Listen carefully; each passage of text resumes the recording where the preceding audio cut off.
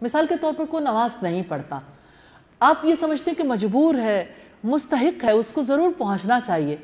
तो उसके लिए ऐसा हो सकता है कि उससे इकरार करवाया जाए, उससे दीन को समझाया भी जाए। जब वो इकरार कर ले, फिर ज़क़़त दे दें तो आप अपने फरीज़े से फ़ारग हो गए।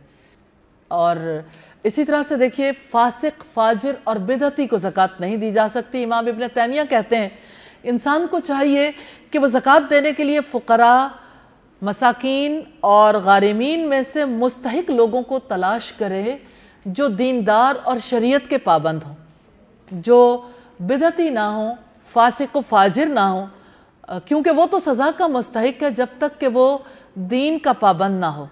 उसे और फिर ये कि उससे इमाम इबन तैमिया कहते हैं कि ऐसे शख्स से दीन की पाबंदी का इकरार करवाना चाहिए।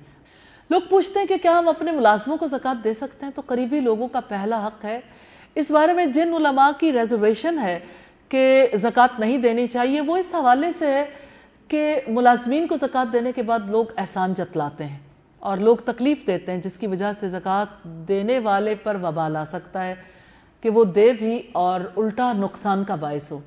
तो ज़्यादा बेहतर है कि फिर दूसरों को दे दें, लेकिन असलन करीबी रिश्तेदार हों या मुलाजिम हों, अगर वो हक रखते हैं तो पहले उन तक ज़रूर पहुंचानी चाहिए। इसी तरह से सेहतमंद कमाने कमाने के काबिल शख्स को ज़क़़त नहीं देनी चाहिए।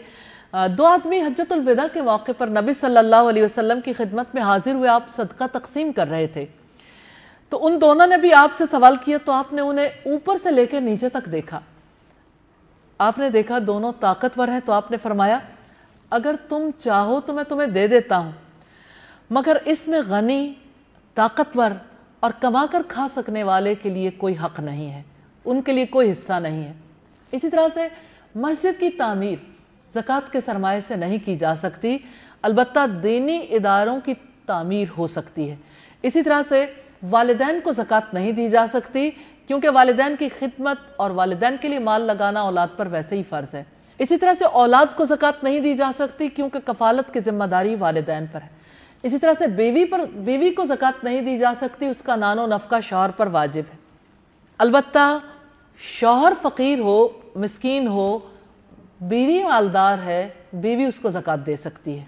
इसी तरह से रफाही कामों के लिए ज़क़़त नहीं दी जा सकती, जैसे सड़कें नहीं बनाई जा सकती, पुल वगैरह नहीं बनाए जा सकते, इसी तरह हस्पताल वगैरह नहीं बनाए जा सकते।